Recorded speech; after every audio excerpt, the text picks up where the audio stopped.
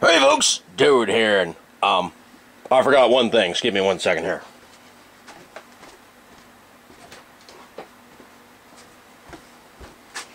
Uh, now we're ready to shoot a video. Just give me one second here. Hmm. Ah, oh, that's exactly what I need. Okay, today's video is, um, well, somebody asked me a while back to do something about military uh, backpacks, and I figured, what the hell, I may as well do such. So today's video is about the Alice backpack, namely the acronym for the All-Purpose Lightweight Individual Carrying Equipment Government Backwards Talking clock type of nomenclature name thing annoying, but that's just the way they do stuff. Well, anyway, uh, this one is the uh, the afterwards of the uh, the aluminum packs. Uh, the backpack frames, also known in the business as the backpack bitch, because they would dig into your kidneys, especially Alice Large. Their um, their tare weight, which is basically just you know how much it weighs by itself, was borderline psychotic. I mean, they are not light frames; they'll kick your ass. Uh, these are the replacements. Uh, these came out from a company called Coleman and they were supposed to fix a few things, and uh, it's something called Enduraflex. Enduraflex is basically the same stuff they use in like car bumpers, and it, it's actually a very good thermoplastic. It's got some flex to it. You know, you can see I actually got some flex going on there. Um, it's a pretty cool piece of kit, and the only reason why I did the printout there is because you know the acronym for Alice was driving me nuts, but that's neither here nor there. But you can see it actually does have more of an ergonomic thing. It actually kind of does conform more to the, you know, the human body, the lumbar, the what have you. Druthers, it breaks. You ever seen a car after it's been in a wreck? the stuff shatters like fine china. Okay, uh, aluminum pack frames usually don't break very well. Um, usually there's some give to them. And if you do bend an aluminum pack frame, if you're careful, you pretty much can straighten it out um, what I would do at that point is if you did put a bend in it, I would get it very close to where it was originally, but I wouldn't put it back to where it was originally all the way because probably you got a crack built in there, and um, you're going to make the tube shear. And if you do break the tube, then you got to find a piece of wood, you got to whittle it down to fit, you got to stick it in there, you got to drill a couple holes. If you got your Swiss Army knife, and you should have your Swiss Army knife, drill a couple holes, stick it back together. Um, basically, you're splitting it up like a broken bone. Okay, now the Enduraflex, um, I've got one for, well, fun and grins, and, you know, put the appropriate words in there. I've got it for fun and grins. Am I ever going to field with it? No, because it doesn't fit me. Um, why? Because I got about, I'm basically built like a walking triangle. It just doesn't fit me. I mean, I got about the better part of a 39 to a 40 inch waist, and I have about a 46 to a 47 inch chest it, it, just doesn't fit. I mean, you know, a lot of cars don't fit me. As a matter of fact, my CRX is a little bit of a tight fit, you know, in the driver's seat and the upper body because it's built for small Japanese, not for big Americans. Uh, I'm an overly big American, and well, I'm not fat. It's just the way I'm built. I mean, I'm built like well, I'm built like most bodybuilders would love to have their backs look because I'm a walking triangle.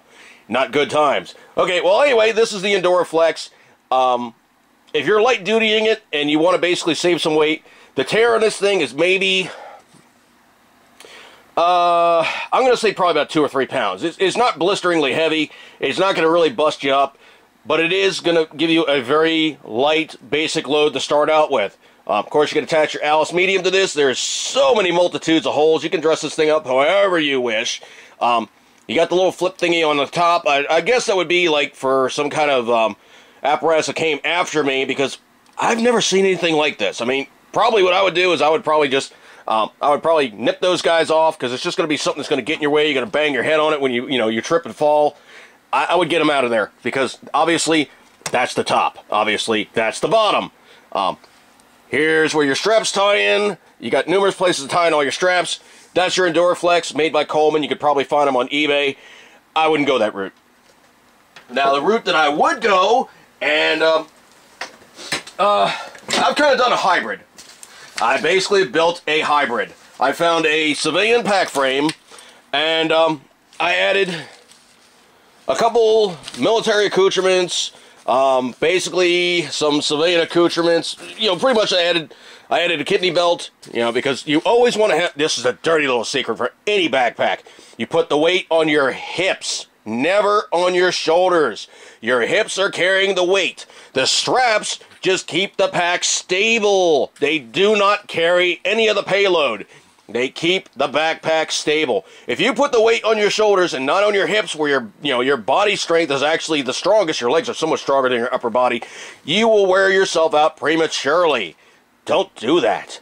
Now, here's the other thing too. Um, you notice this basically does have kind of a bastard ergonomic thing going on.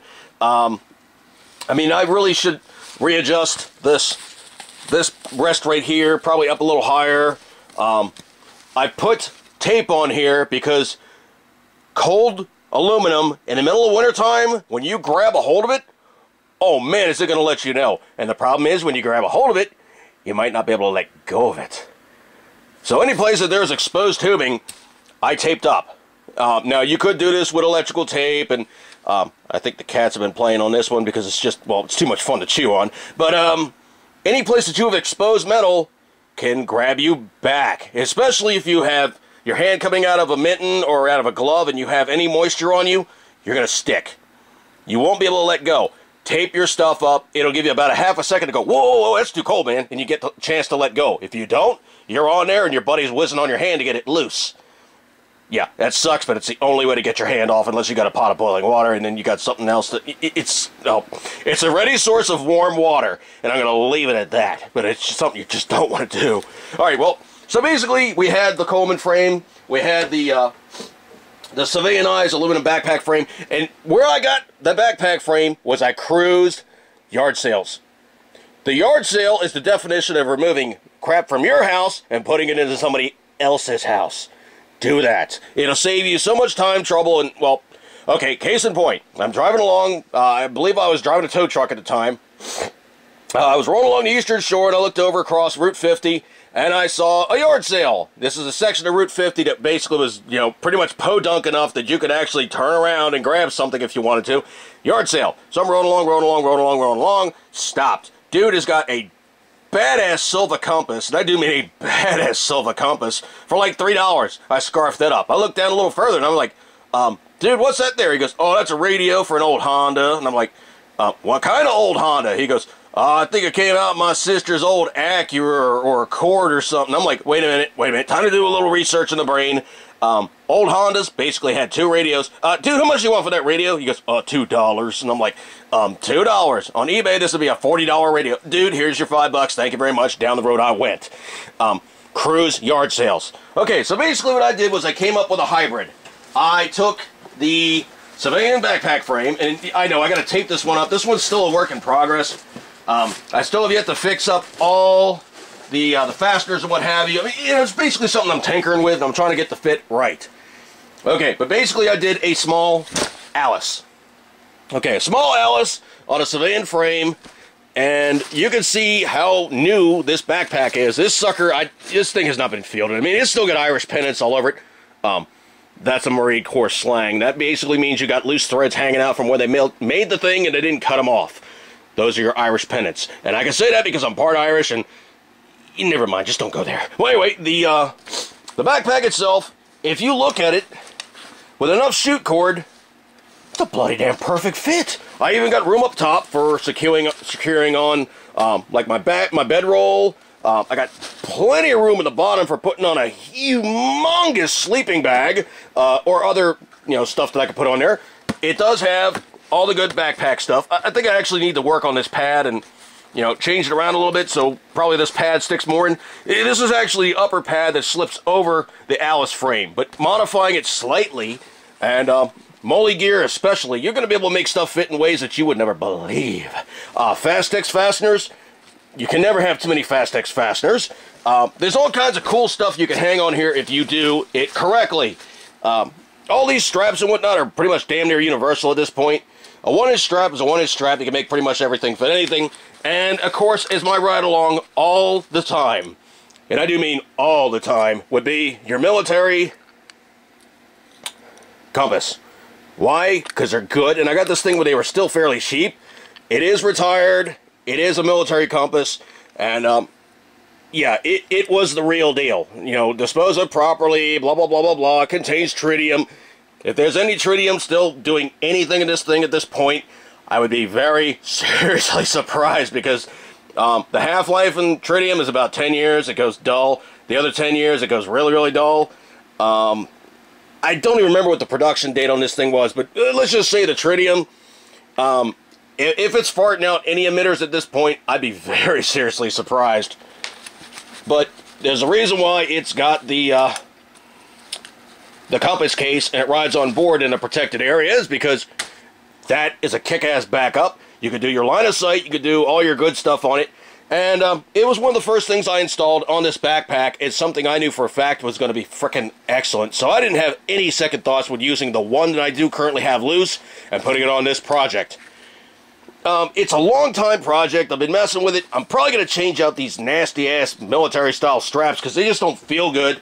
And uh, I'm probably going to go on and do other stuff. So anyway, the uh, the long and the short on that one is basically because you're not in the service and you don't have to look like the 50,000 other guys standing beside you, you can make everything fit you to a T and tear it up how you like it. Now, um, got tons of cat hair out here. well, anyway, the uh, the other cool thing is how many pockets does a Alice currently have? All right, and Alice has a sick amount of pockets. I mean, it's got the huge main, it's got three outsides, it's got the uh, the map pocket if you know where to find it. I mean, there's tons of stuff to be done on these things. Plus, you've got, um, not so much on these, it's more on the other ones, the, the new Armoli stuff. They're really good about putting strapping all over everything. But it's cloth. I mean, you could you could sew anything on anything on anywhere and make it how you see fit to dress this thing up. And well, you can make it fit anything that you want as long as you're willing to grab the needle and the thread and put in the time and effort and do a little research because the newer stuff, okay, the newer stuff is covered with straps, and that's really, really cool stuff. The only downside is, is basically how much do you really want to invest in um, new backpack technology? If you could find these guys very cheap, but I mean, you go to like um, Copeland's or Maine Military, or I'll put a bunch of links in there for good websites. Uh, Brigade Quartermaster, you know, um, Galls, uh, maybe not Galls so much, but they're new stuff. But if you look around a lot of the military surplus sites and you put in anything in Google, you're going to get a million flipping hits. Uh, if you want to PM me for like questions and stuff, I'll be glad to answer you as always because, well, that's just the way we are in this channel. And um, so basically, the way you see fit is putting it together how you wish. Now, the reason why I used that frame as opposed to this frame, it, it's pretty easy. I mean, look look at the sheer tube diameter. It's no question. The tube on this is maybe about uh, 5 eighths. This one's about an inch. No contest. This one's going to be much more strong. It's going to be able to take much more abuse. And to tell you the truth, believe it or not, it's not that much heavier. So if you find the older backpacks as opposed to the newer backpacks, this is more like a day backpack in my opinion in terms of the frame size. I would never stress this. This is probably roughly about as strong as that Enduraflex. And the um, that Enduraflex pack frame, I would never, ever trust for something long and drawn out because if it breaks, and you can ask anybody that's ever fielded with them, you're stitching it together with, um, well, 90 mile an hour tape, civilian version duct tape, and uh, chute cord, military version uh, chute cord. That's pretty much what you're doing. You're trying to get the thing back together because it's FUBAR, and you got no way to fix it in the field with the exception of, well, and this is never recommended, uh, heating up your uh, bayonet in the campfire and stitching it together by welding it don't get caught doing that one. That's never good times. Um, I can tell you for a fact, though, it didn't occur to me because we never fielded the crap in the Marine Corps. We stayed with the steel ones because we're gluttons for punishment. We want to bust our back, our bra uh, we want to bust our backs. and because the sergeant was very, very kind in making sure that we had enough physical therapy to carry it appropriately upon our suffering asses. Would I do that to anybody that I truly like? No. There's better equivalents out there. You don't have to go through government TO&E. There would be the table of equipment and operation, uh, also known as what stuff you got to what stuff you can utilize to what stuff you're carrying to what stuff you guys are humping. Even though you don't need it, carry it because it's on our TO&E. It's on the list. You should be carrying it because you're good Marines and that's what you're going to do. Uh, Billy Bob, stop crying because you're humping the pig. And those of you who don't know what humping the pig means, the guys who are in the military are laughing their asses off now because you civilians are going, why would he be having sex with a pig in the field? He wouldn't be doing that. Uh, that basically means he was carrying an M60 or he was carrying a machine gun and uh, he was low man in the totem pole unless the guy was built like a well a football linebacker because the pig, pig's 18 pounds. Uh, well, 19 pounds depending on how you're carrying an E3, E1, or what have you. But we didn't feed we didn't field E3s when I was in. We had E1s and ugh, they were heavy. Not as bad as not as bad as the 240, but they were heavy. Um, the other major downside, of course, is how much ammo you are carrying. Your TO&E says you guys got to carry ridiculous quantities. You're carrying ridiculous quantities. So, cat getting on my nerves again. So you're carrying ridiculous quantities, and um, that basically means you got to put it somewhere. All right, now, if you look at the way the Alice pack is set up, there's a shelf on the bottom. That basically means you're racking some ammo cans on there, and you're putting the weight right over your ass. Ugh, not good times. If you ever humped, uh, well, usually you'd probably get away with carrying one, but that's, you know, what, 500 rounds or so, 800 rounds or so, and your average ammo can, I mean, the weight goes up very quickly. Before you know it, you're playing soldier, humping around your standard 100 pounds of gear. Why? Because they say you're supposed to. Do you need 100 pounds of gear? No. But for time and eternal in the U.S. military, we've been overloading our soldiers with too much crap. Now, the reason being is because um, there's a reason why you only use two different types of ammo in combat. It's because you know for a fact trying to get a hold of more 5.56 is not going to be easy. Trying to get a hold of more 308 slash 7.62 is not going to be easy. So if you got five different calibers, you are screwed. That's why the 6.8 doesn't do so good. That's also why the 6.5 doesn't do so good. That's also why any of the 6.5 millimeter cartridges they're now playing around with and to give them to people doesn't do so good because you got two main uh, lines of ammunition that you got to try to hump into combat with three more different types of ammo. Ugh, not good times. Well, anyway, so basically, the uh, the long and the short of a backpack is essentially, for me at least, build a backpack. Could I build it out of an Alice pack? Yeah, but I don't want to take a three pound weight penalty for something that's really not going to help me except drag my ass down later. Alright folks, I'm going to tail this one off because I don't try to run my videos as long as some people. And notice, there is no conspicuous Duracoat jimping and ounces on this. It's a backpack. It doesn't need it. It doesn't need, well, buttloads of other crap bolted all over it. And of course, there's no sponsors screaming all over this thing because I don't do AdSense or partnership. Alright folks, uh, as usual here in the Ace Podcast, strong as they see it, as always, always,